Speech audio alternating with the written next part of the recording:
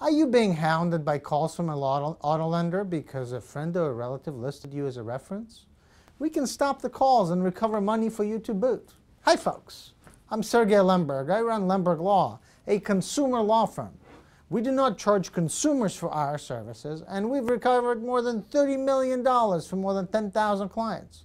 If a friend or family member had so-so credit and tried to buy a car, chances are they had to list a personal reference on their loan.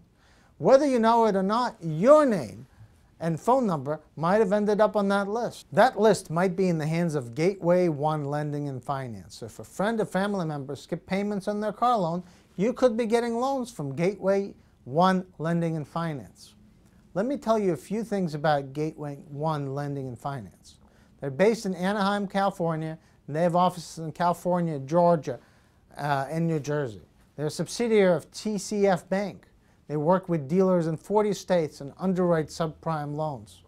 Gateway One could be harassing you or calling your cell phone.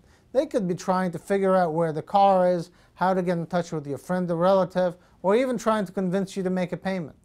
If you're getting these calls, Gateway One Lending and Finance could be violating the Telephone Consumer Protection Act. Under the law, you could be entitled to up to $1,500 per call for TCPA violations. There's only one way to find out. Pick up the phone, give us a call. We'll be glad to talk to you. Our representation is free for you. Don't wait. Let us give you a free consultation and let us help you get the justice you deserve.